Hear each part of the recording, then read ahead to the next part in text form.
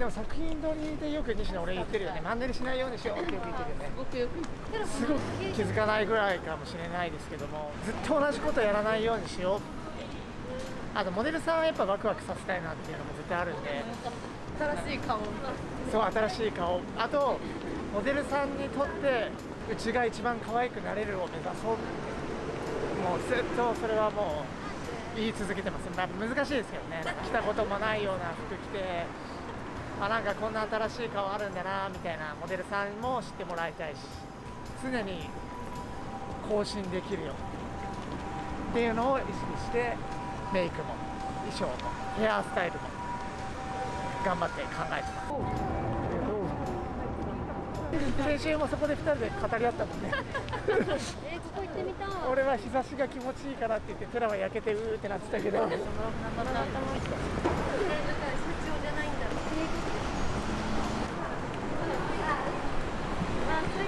まあ僕はちょっとこうやってみんなで一緒にやってた方がまあ上がれるっていうのはあるんですけどやっぱ楽しいかなって感じですは待って欲しいバッグあった。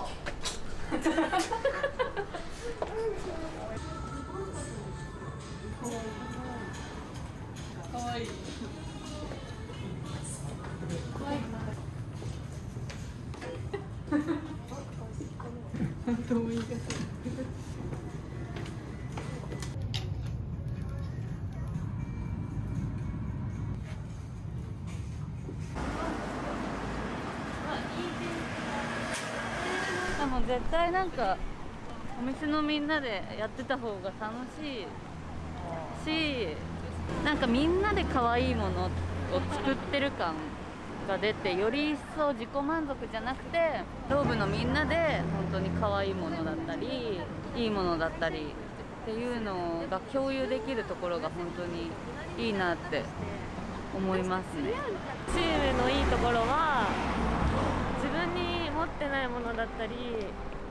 自分が知らないことをすごいチームでやってることによっていろいろ見て学んだりとか知ることができるので自分の中の引き出しが増えるというかこれからの人生においてすごいいいものを吸収できてるなって思います。テラも言った通り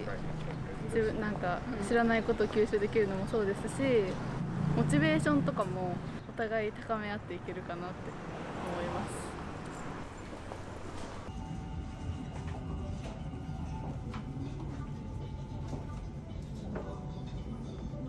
はいこれいいですね。これかわいい。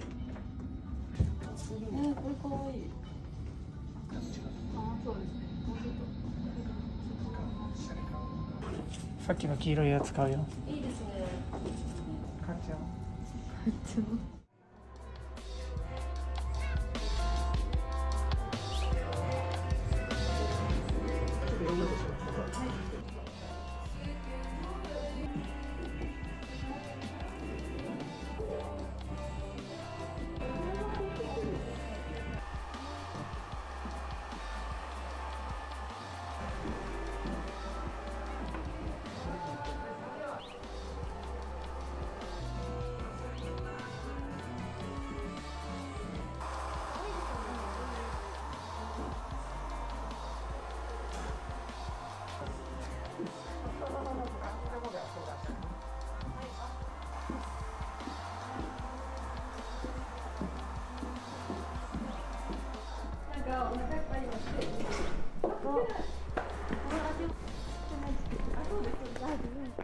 注視してることはイメージですね、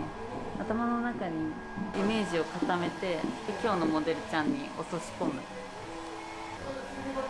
私は結構もう見て覚えたっていうことがあるのでお客さんをやってるとなかなかこう近くで見れない技術っていうのをメイクだったりコテの使い方だったり本当に近くに来て見てほしいっていうことを伝授してます。と一緒に作品作る時はたまにメイクとかお願いするんですけどそういう時はこういうイメージにしたいっていうのをしっかり伝えて一緒に可愛いものを作っています。小顔に見えるように。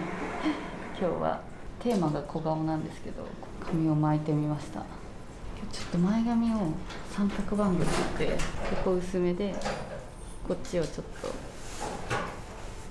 っち側に髪があった方が小顔に見えるので。でストレートタッチじゃなくてちょっとパーマ風に作りました。かわいい。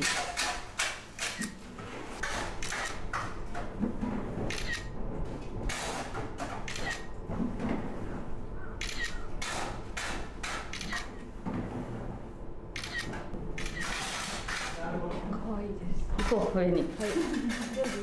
はい。じゃあ着替えましょう本来は15分から20分で2から3パターン取ります。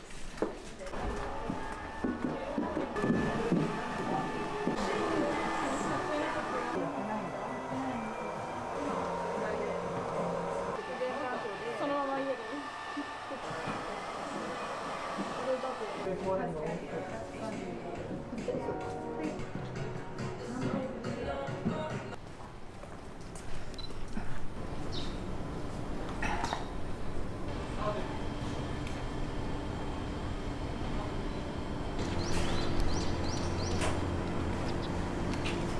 ンセプトは大人のハイトーンヘア。決めすぎないストレートヘアでもナチュラルに自分でスタイリングしやすいようなヘアを提案しようと思って作ってます。自分のお客様の層に合わせてハイトーンが最近多くなってきてるのでハイトーンでも楽しめるなんかストレートヘアを提案しようと思って作ってます。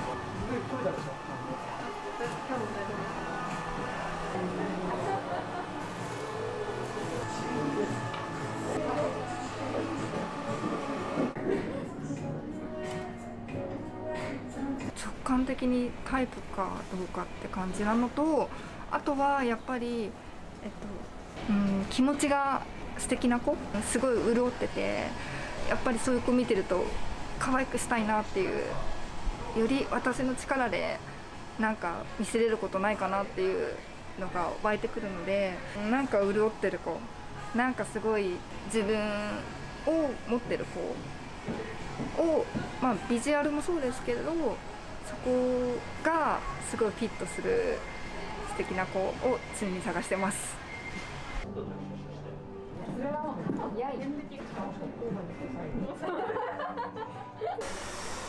やっぱり撮影は作品だと思うのでやっぱり可愛い子で撮影したいなっていうのと、まあ、あとやっぱりそうですね髪の毛をこうデザインさせてくれるモデルさんを見つけるっていうですねやっぱ実際にこうスタイリングだけじゃなくて切らしてもらったり染めさせてもらったりちゃんとヘアスタイルを作らせてくれるモデルさんっていうのを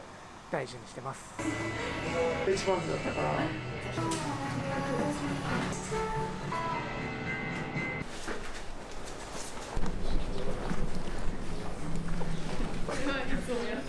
ことはまあモデルさんを、まあ、とにかく一番可愛く見えるポイントっていうのを探って、まあ、その時時々で、まあ、自分の中の可愛いって変わると思うんですけども、まあ、自分が思うその時の可愛いを作れるように。でモデルさんにとってローブに来たら僕が携わったら一番可愛いって思ってもらえるように頑張って考えて作品撮りはしてます。そろそろ純愛がしたいな。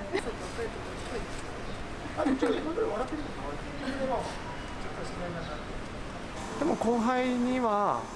なんで今日こうしたかっていうのはあのちゃんとしっかり伝えるように。ただなんとなく作ったんじゃなくて今日はこういう気分だったからこうしたよああしたよとか、まあ、あと、まあ、変な話ちょっと戦略的に今こういうの流行ってるからちょっとこういうデザインにしたよとかっていうのは、えっと、伝えるようにしてます。日本ってもすごいいい気がする。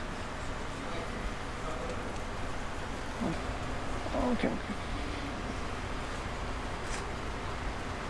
一回ちょっといいですか？はい 今日の似合わせポイントは、えっと、ちょっとパツッとしたカットで、えっと、シンプルに作りたかったのでそういう風にデザインしました。顔立ちはっきりしたモデルさんだったのでまあちょっと動かす髪でもぺったりしちゃうので、まあ、あえてこう直毛のペタッとした髪質を生かしてちょっとカットラインが綺麗に見えるように今日はデザインしました。メイクのポイントはえっと、衣装に合わせてちょっとコーラルっぽいサーモンピンクみたいな、えっと、ヘアをウェットにするって言ってたのでちょっとだけリップもつるんってしました。ちょっとかっこいい雰囲気で今日は作りたかったっていうのがあります。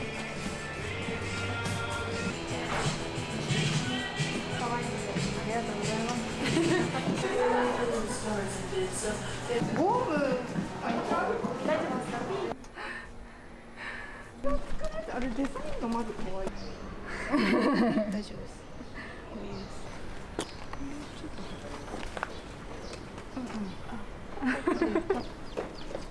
よし。えっとまずはそのモデルさんがとにかく可愛く見える表情だったりとか、まあ、その一つの絵になってあの残るものなのでとにかくいろんな人が見ると思うんですよ。SNS とかでも流すので。なのでまずはその子が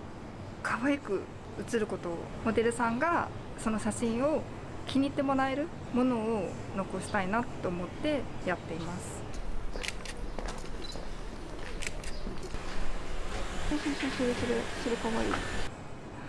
えっと作品撮りなのでまずはやっぱりヘアスタイルなのでそれはやっぱりヘアメイクさんと違う私たちのあの技術をあの見せる場なのでまずは自分でカットして仕込んでヘアスタイルを素敵に見せられてそのモデルさんの表情がより生きるようなものを作れるかつやっぱ自分のカルチャーだったりとか好きなものを一つの絵として見た時にその人らしさが漂うような作品を撮れたらいいねって話してます。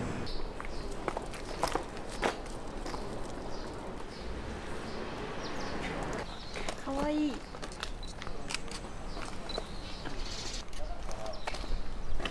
もう最後に適当に撮ったやつがよかった。よ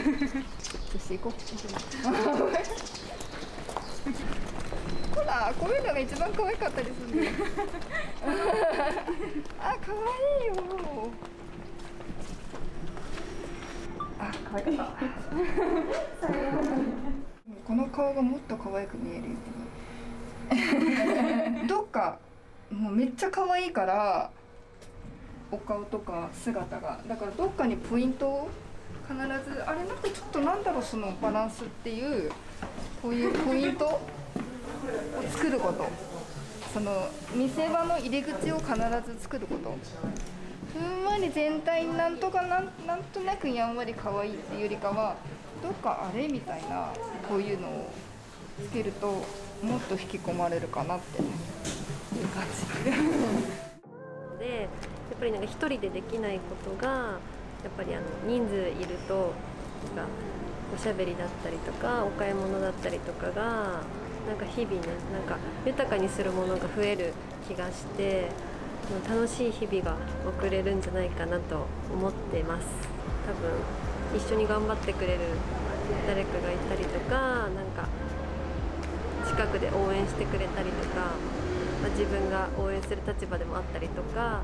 なんかそういう存在がいた方がやっぱり自分は頑張れる気がします。好きです。あ好きです。ローブ好きです。ローブ好きです。頑張ります